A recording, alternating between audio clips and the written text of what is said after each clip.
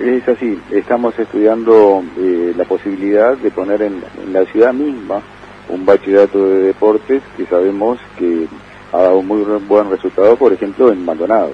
Si bien se han acercado muchas personas interesadas en el mismo, vamos a empezar un periodo de preinscripciones, tanto para ese curso como para el resto de lo que la escuela inscribiría en diciembre, a los efectos de conocer en realidad que si la población está interesada en los cursos que nosotros proponemos.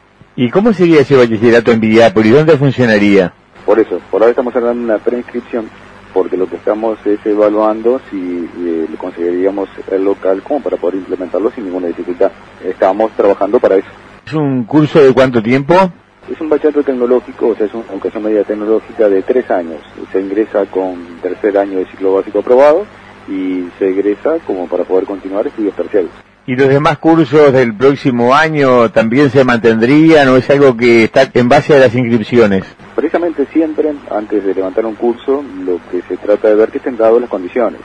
Una de las condiciones es saber de si hay estudiantes interesados para el cursado. Nosotros tenemos la seguridad de que sí, pero bueno, queremos antes de ir a lo que nosotros llamamos el planillado, que es donde verdaderamente oficializamos la solicitud de la oferta educativa para el próximo año, conocer qué interesa hay en los jóvenes este año.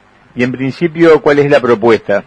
La propuesta es continuar con algunos cursos que teníamos, como por ejemplo el bachillerato de visuales, el bachillerato de agrario, el de informática, los cursos del área de conservación de recursos naturales, guardaparque y el MP, por ejemplo, agroforestal, con la incorporación de dos cursos, uno es el que mencionábamos recién, este bachillerato en deportes, y otro que es un bachillerato de energías alternativas. El año pasado empezamos con un curso de energías alternativas que pedía tener como ingreso la mitad de un bachillerato científico aprobado y hay mucha gente que se aproximó con un perfil que no llegaba a eso.